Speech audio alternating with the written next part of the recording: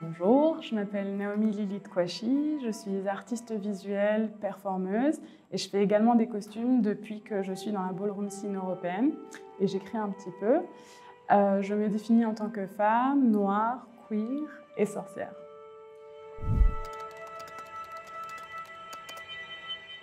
Pour moi, la fluidité est un mouvement qui atteste d'un changement qui soit spatial, temporel, social ou identitaire.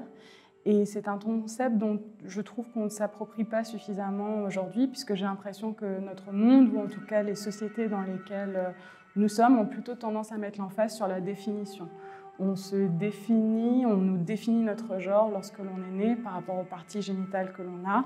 On nous définit en tant que bon ou mauvais élève euh, en fonction des notes que l'on a. On nous définit socialement par rapport euh, à notre statut, les revenus que l'on a.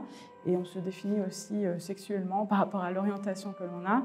Et pour moi, ce concept de se définir comme ça a toujours été un peu conflictuel, puisque de par mon background multiculturel, j'ai toujours eu un peu de difficulté justement à choisir.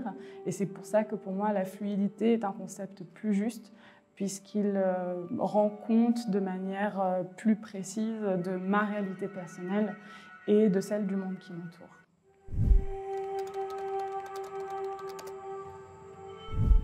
Alors, l'œuvre à côté de moi est une sculpture en tige métallique gravée à la main.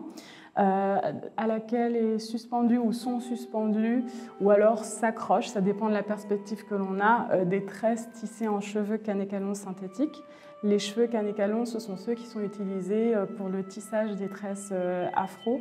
En fonction de l'épaisseur de la tresse euh, ou du nombre de personnes que l'on a, ça peut prendre entre 5 à 20 heures.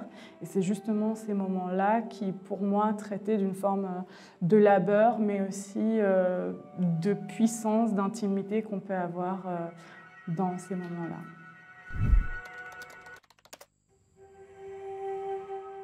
J'aimerais que le visiteur reparte avec une notion de la corporalité euh, afro-féminine, qu'il en tire euh, ce que moi j'y vois, c'est-à-dire une forme de beauté et de force.